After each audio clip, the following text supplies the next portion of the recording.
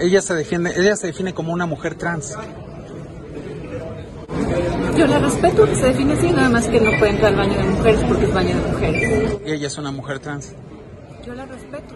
Usted dice que es irracional. ¿Por qué es irracional para usted? Porque es un baño de mujeres. Y ella no pudiera entrar. Es un baño de mujeres. Pero ¿por qué ella no pudiera entrar al baño, senadora? Ya le estoy respondiendo, porque los baños de mujeres son de mujeres y los baños de hombres son de Y hombres. ella al ser una mujer no puede entrar. El baño es de mujeres. Usted júzguelo en el video. No, el yo- baño es de mujeres. Ella es una mujer para mí. ¿Para usted qué es? Con todo respeto, si ella se cree que es una mujer, yo la respeto. Entonces tendría el derecho a entrar al sanitario. Las mujeres tienen derecho a tener privacidad en los baños de mujeres. ¿Cree que ella violó la privacidad? No porque no entró.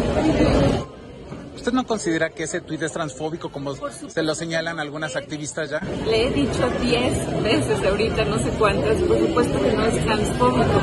Yo respeto a los trans.